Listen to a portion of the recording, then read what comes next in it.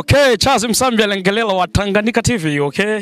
Hapa tunakuja kuliangalia swala nzima ambalo lilipendekezwa na baadhi ya wabunge kutoka nchi ya Jamhuri ya Kidemokrasia ya Kongo, swala ambalo waliweza kulipanga, ni pendekezo ambao wameweza kulipendekeza ndani ya bunge lao, eti mtoto wa kike awe amesoma, asiyesoma, awe amezalia nyumbani, amefanya nini, lakini mali yake isipite dala mia tano.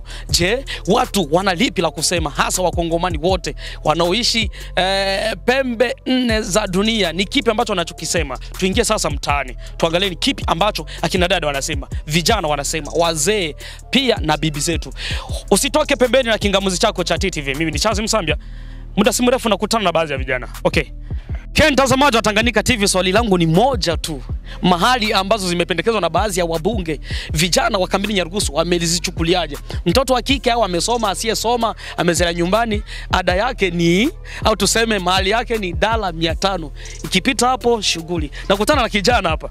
Okay, eh bana, mambo vipi? Upo sawa? Salama kabisa. Unaitwa nani? Kwa jina naitwa Mwene Batu Mirenge, naishi kwenye kijiji cha D3 9 kwa 16. Okay.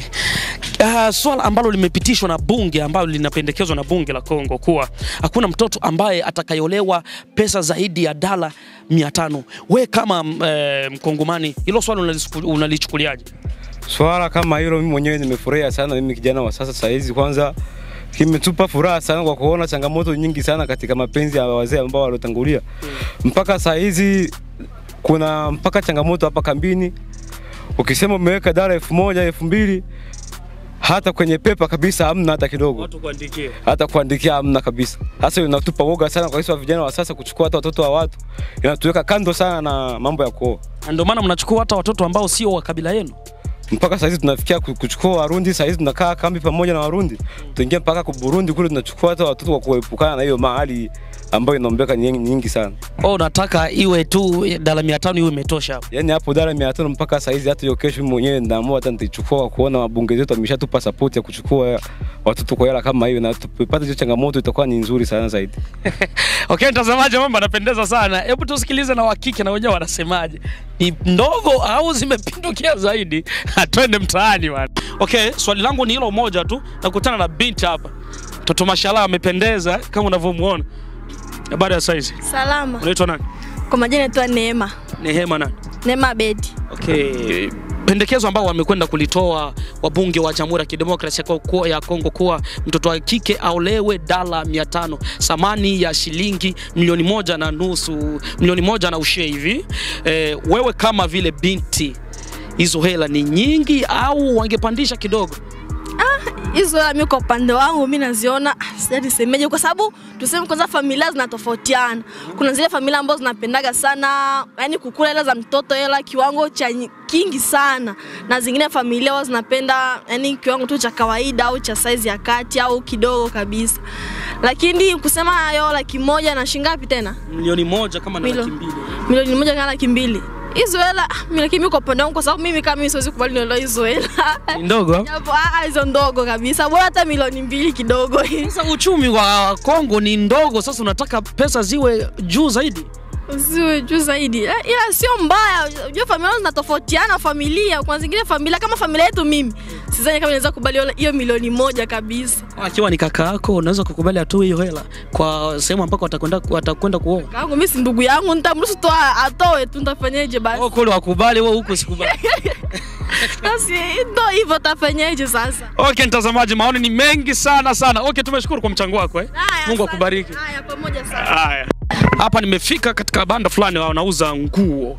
Mzaduka nitaongea naye mawili matatu kuhusiana swala ambalo limependekezwa na baadhi ya wabunge wa Jamhuri ya Kidemokrasia ya Kongo kwamba kuozesha mtoto wa kike au amezelea nyumbani msomi au vipi, dala mia tano tu inamtosha. Kwa hiyo nataka nichukue maoni kwake, hizo hela ni nyingi au ni ndogo? Maana hea na watoto wa kike. Tusikilize kwanza maoni yako. Karibu kiongozi, unaitwa nani? Mimi naitwa Omari maarufu Kanali.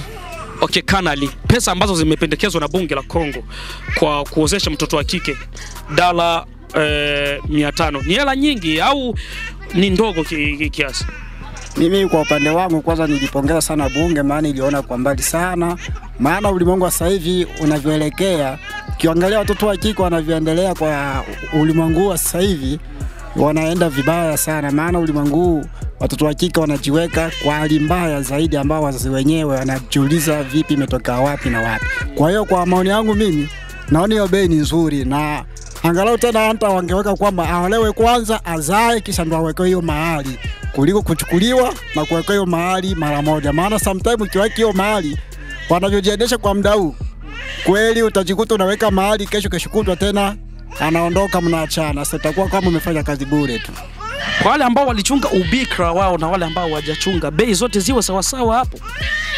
Ubikra, kupata ubikra sasa hivi kweli ni nadra sana ulimwengu wa sasa hivi. Kweli hiyo ni bahati kutoka kwa Mungu kupata ubikra kwa watoto wasichana wa sasa hivi, maana wanaanza kuharibika kutembea vibaya tangu mapema sana kwa miaka midogo tu. E, kama kupata bikra sasa hivi sijui, na atakayepata bahati kupata ubikra basi atoe hiyo mahali bila hata kuguna, ni vizuri sana, maana ni bahati yake. Bila shaka na wewe umezaa watoto wa kike.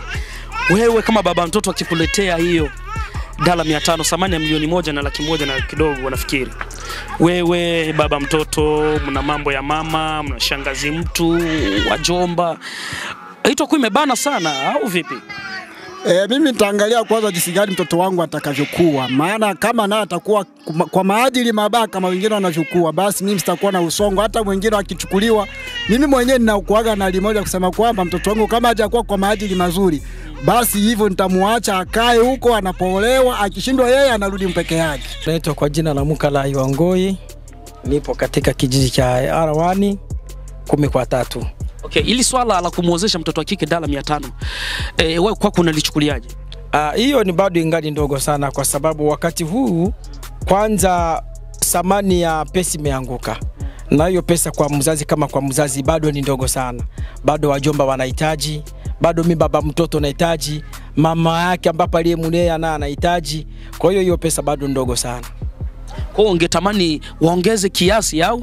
Ndiyo, ingekuwa afadhali angalau hata dola elfu tatu elfu tano hapo ndo ingekuwa rahisi zaidi, kwa sababu kufuatana na, na wakati ambapo tunao labda dala ya elfu tano elfu tatu hapo labda Lakini kuna wengine ambao wanalalamika kuwa baadhi ya watoto wanakuja wanaharibikia nyumbani kwao, hizo hela ni nyingi. Wewe kwako unalichukuliaje? Hapana, si kwamba wa- wa- watoto wa kike wanaharibika. Wanaoharibisha ni hao hao ambapo wanawahitaji, na ndio huyo ambapo anamharibisha ndo ambapo anahitaji aje muoe. Kwa hiyo ndio hiyo ambapo ina, ina, kwanza sisi hatuwezi tukajua kwamba mtoto anaharibika, anaharibikaje. Si kweli kwamba mtoto anaharibika, kwa sababu mtoto ni yule yule na mwanamke ni yule yule ambapo naye mhitaji. Kwa hiyo bado hajaonekana kwamba ameharibika, kwa sababu ni mtu yule yule ambapo yuko pale pale.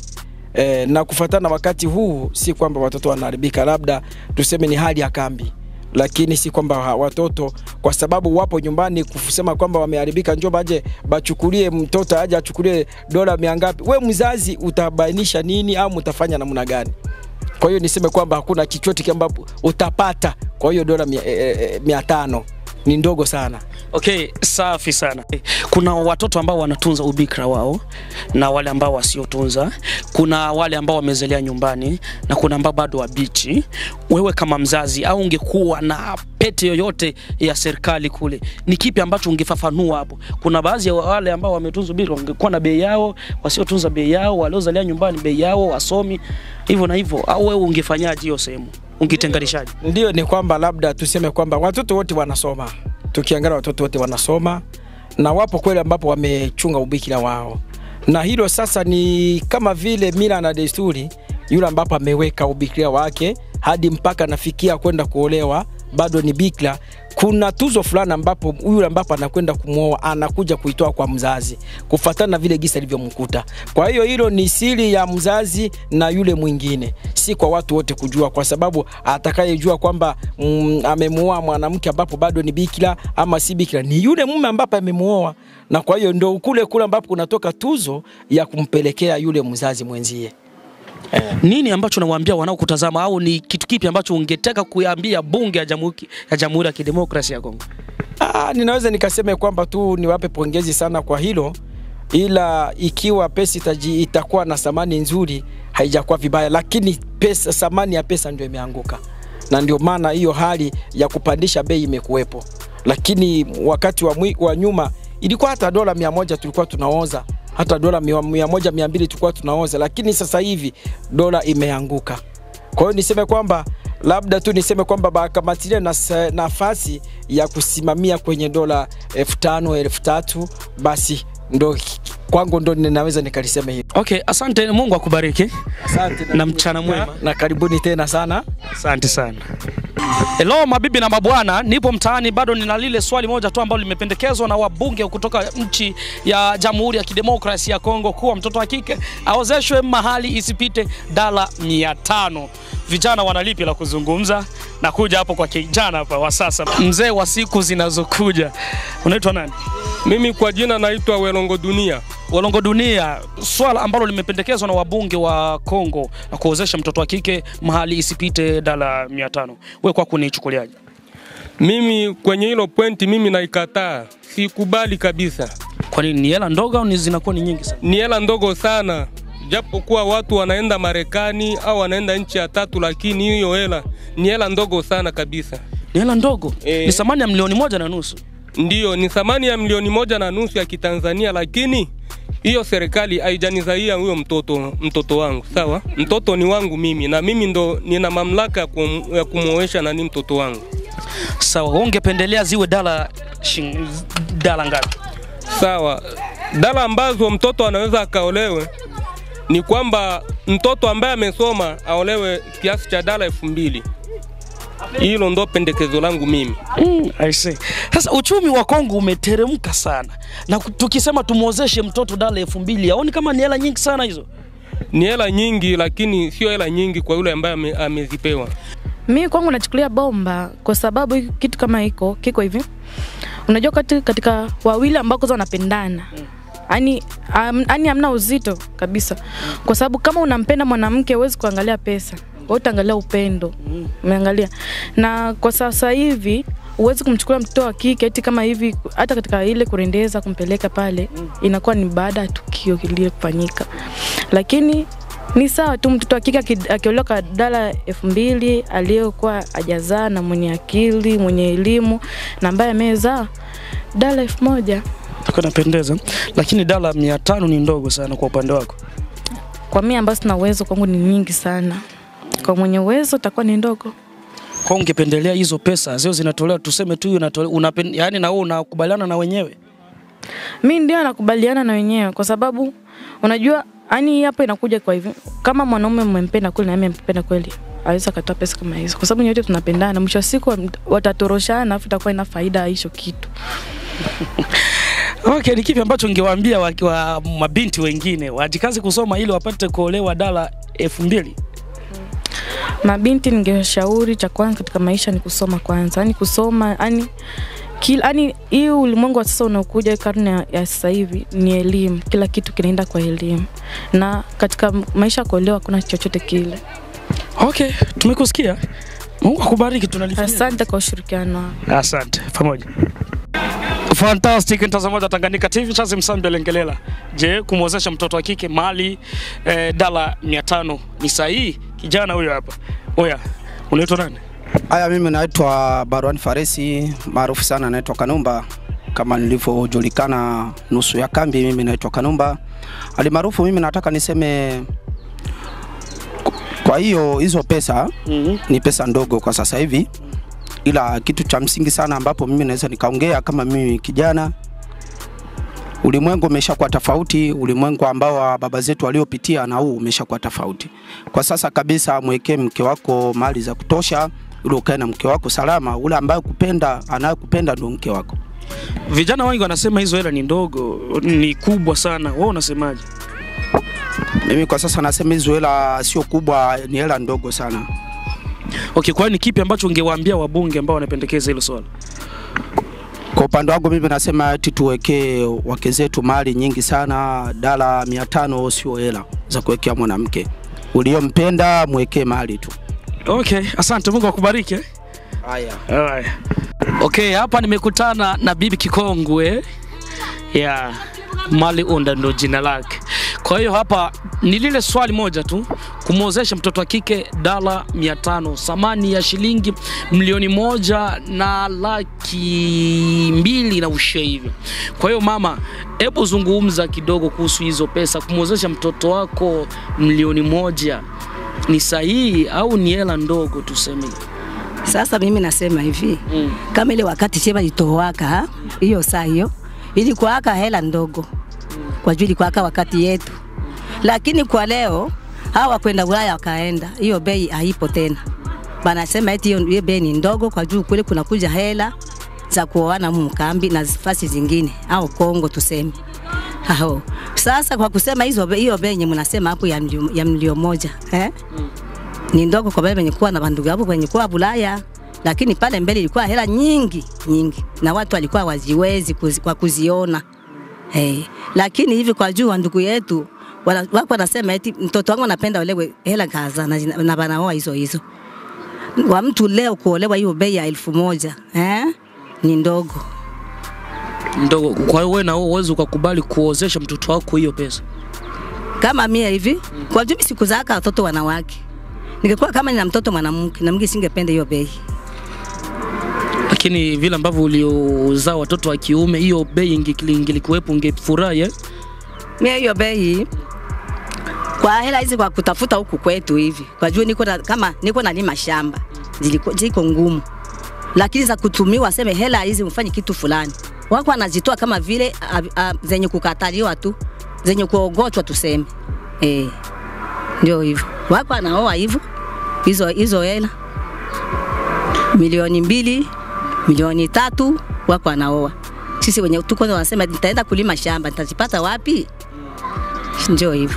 Okay, mtazamaji, kama ulivyomsikia jinsi mama alivyoweza kuzungumza eh, amefafanua vitu vingi sana, amekumbusha enzi zao na mpaka sasa. Anasema kutokana na bei kubwa gali ni kutokana na waenda Marekani, vitu kama hivyo. Nilielekeza hili swala katika mtandao na maoni yalikuwa ni kama hivi yafuatavyo, maana lilizua nguzo sana mtandaoni. Huyu hapa ni Dennis kutoka Belgium anasema bei ya mahali inaendana na uchumi wa nchi yako. Nchi kama Kongo kuna watu wanaishi maisha duni sana, alafu tena bei inakuwa juu ya kuolewa. Kwa hiyo hiyo haipendezi sana. Pamoja, kuna dada mwingine ambaye ametoka Canada na ametaka kusema swala la mali linawahusu wa, aliwahusu wabunge. Haya ni mambo ya kifamilia, sababu wanaodeside mtoto kuolewa kiwango cha pesa ni familia na sio serikali. Kwa hiyo serikali ifanye kazi zake kama serikali na sio kugusia kwenye mahali hiyo. eh, Hiyo inaonyesha serikali yetu uh, ina ina udhaifu, wanashindwa kufanya kazi yao, wanafanya kazi ambayo haiwahusu. E, mwingine hapa Dino kutoka kambini, katika kambi ya wakimbizi ya Nyarugusu jiji la Electra anajiita Dino kutoka Nyarugusu. E, mimi ni kijana maskini, sina uwezo. Anasema wakifanya hivyo itakuwa vizuri sana, maana sisi wengine tunashindwa kuoa kwa sababu ya ukosefu wa mahali. Mwingine hapa Profesa Dola kutoka katika kambi ya, wanyar, kambi ya Nyarugusu katika jiji la Jere 2 kwa 18 anasema ni sawa tena, itapendeza sana, maana wengi wanashindwa kuoa kutokana na mali kupanda juu zaidi. Eh, Huyu hapa anaitwa Nkabelo Abuula kutoka katika kambi ya wakimbizi ya Nyarugusu PD 9 kwa 9 anasema serikali za Kiafrika zote azijiwezi, eh, hazijiwezi na ndio maana maamuzi yao yanakuwa magumu sana, hatuwezi kuwapinga. Na vipi kuhusu ada ya kukomboa mtoto? Filipo Suve kutoka anaitwa Mpesa toka ara ya kwanza. Naona wabunge wetu wa- hawana huruma kabisa. Utoaji wa mahali nchini Kongo au kutotoa mahali sio shida inausumbua mkongomani kwa sasa. Shida inasumbua mkongomani ni ukosefu wa amani, uwepo eh, uwepo wa amani unaufanya mtu apange mambo vizuri. Utajipangaje na jirani yako kauawa, kabakwa, kaporwa? Ni vema waongelee kinachowafanya wananchi kukimbia nchini mwao.